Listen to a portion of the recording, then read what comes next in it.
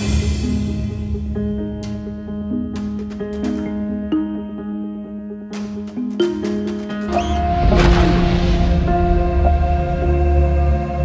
am the wrong person to have discovered this.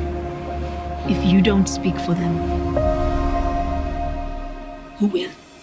You're about to meet the real life doctor who discovered that insidious disease found in the brains of athletes who suffered repeated blows to the head. The new film Concussion, based on the true story of Dr. Bennet Omalu. Man Smith portrays in the film is Dr. Bennet Omalu, a Nigerian born forensic pathologist.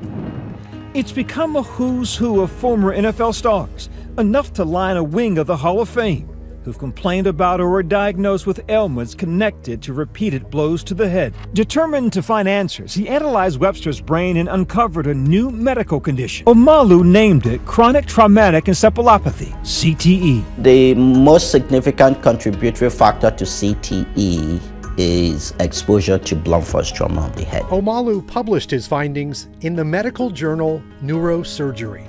What was the reaction from the National Football League? Dr. Omalu says the film is true to every detail, down to the way he talks. I listened to I listened to his voice, and you know, Bennet's voice is a, is a lot more round. The sound of Bennet's voice.